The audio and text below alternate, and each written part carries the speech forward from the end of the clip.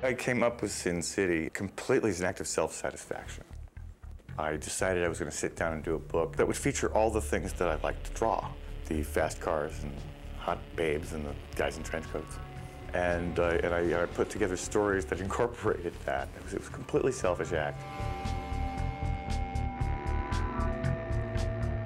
Because I remember the idea of the Sin City movie being around back in the early 90s, but I never thought, I know, how could they ever adapt it? It would just become a regular movie. It wouldn't, wouldn't have the same feel.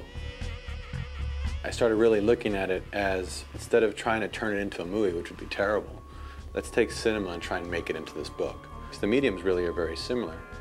These are just snapshots of, of movement. So I was so excited about it. Probably the most excited I've ever been about a project. I, I hunted Frank Miller down and knew I had to get his, his blessing and his involvement in order to make it right. I was a hard sell. I've got a good life drawing my comic books, and there's really no need to, to um, let anybody have my baby. And I held to that fine until this Rodriguez guy started bugging my attorney and then my editor and hunting me down like a wild dog. And essentially, I was seduced.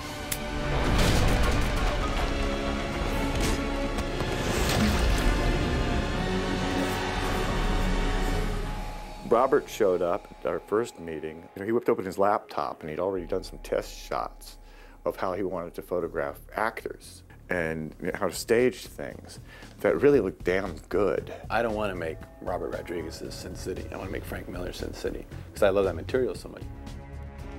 I mean, he said, how about I fly you to Texas? We'll just do a test in one day. He called it a test.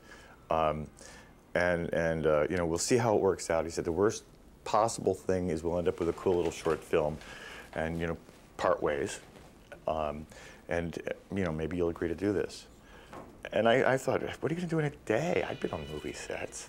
In a day, you, you know, you, you have somebody fill a coffee cup. I let her hear my footsteps. She only goes stiff for a moment. And in 10 hours, he shot an entire three-page short story of mine. This so-called test happened to include two very accomplished actors and be a completely polished piece of work that's going to be in the movie. Robert just basically came to me and said, I'm doing this graphic novel, putting it and making it into a movie. Uh, I don't have the rights to it, and uh, I need somebody to come down and help me convince him to like let us go ahead with it. When I saw it, it just looked so amazing. It was just so great, and it was like true Frank Miller drawings. It's like you know, it was the real Sin City uh, cityscape.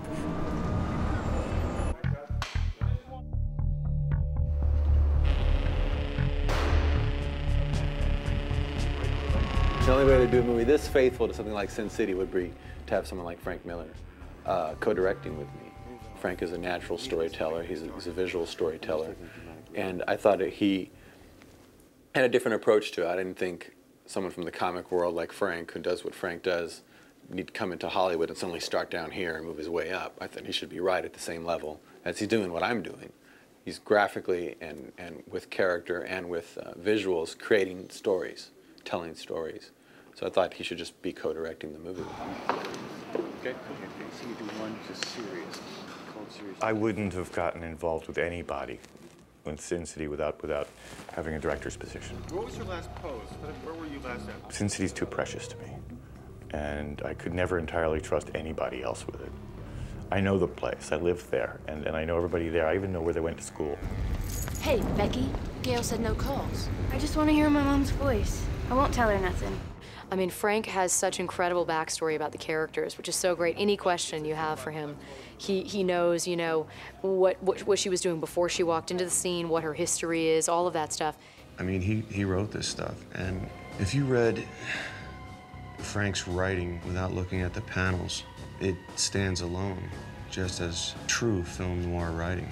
And I think all the actors felt that it was our job to not only pay homage to the books and to film noir style, but also to Frank's writing.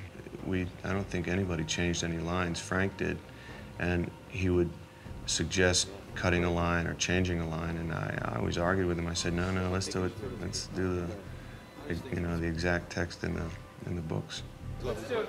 Frank very much was the artistic director keep the snake for, for the moment, but I want more booze back here. And Robert was the let's get it shot, let's get it done well, and let's get it cut together, director.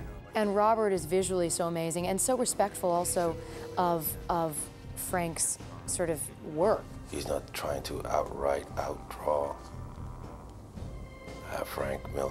And uh, I think that's his ace in the hole because he's staying true.